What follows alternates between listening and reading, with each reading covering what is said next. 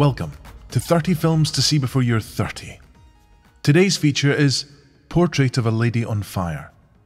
Marianne, a young painter in 18th century France, is commissioned to paint a wedding portrait of Eloise without her knowing.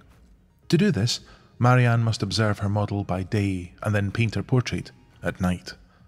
As time marches onwards, the two women become closer and closer until they share Eloise's last moments of freedom before her wedding. Released in 2019, Portrait of a Lady on Fire stars Noé Merlant as Marianne and Adèle Haenel as Eloise.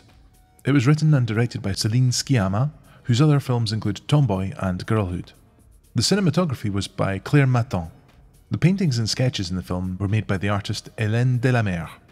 She painted 16 hours every day during the course of filming, basing her painting on the blocking of the scenes. When you see the artist's hands in the film, they're the hands of Hélène. The next film to see before you're 30 is Bicycle Thieves on the 8th of August. And now, it is with great pleasure that we pass you over to a true modern classic Portrait of a Lady on Fire.